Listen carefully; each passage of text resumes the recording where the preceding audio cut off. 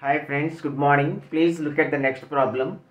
See, A alone can do a piece of work in 9 days, whereas B alone in 12 days. If they work on alternate days, starting with A, how long will it take uh, to complete the work? Friends, these two people are working on alternate days. Alternate days means first day A comes, second day B comes, third day A comes, fourth day B comes, and so on.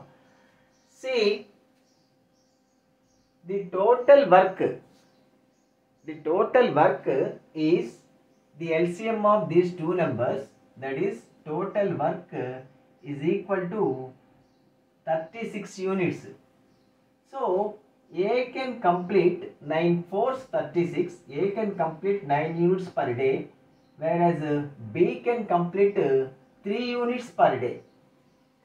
So first day A comes first day A comes A completes 4 units of work. And second day B comes B completes 3 units of work. So for every 2 days for every for every 2 days 7 units of work will be completed.